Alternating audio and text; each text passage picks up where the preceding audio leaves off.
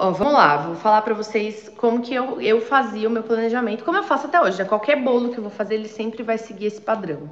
É, primeiro dia, né? Vou contar dia 1, 2 e 3. Aí, né, você vê aí onde você vai encaixar, encaixar na sua semana.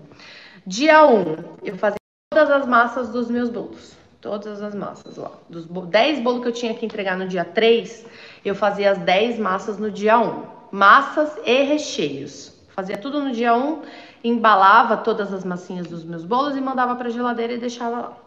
Dia 2, é, eu tirava as massas, né, as massas da geladeira, esperava, né, não esperava chegar em temperatura ambiente, era coisa de 10, 15 minutos, desembalava, fazia todos os meus cortes e já fazia toda a montagem dos meus bolos todas as montagens. Levava tudo para geladeira. Dia 3, eu espatulava e decorava e entregava para o cliente. Então, assim, é um bolo de três dias. Se você quiser fazer com muito mais antecedência que isso, eu recomendo você congelar esses bolos, né? Monta e congela. Tá, esse, aí esse é o planejamento, aí beleza.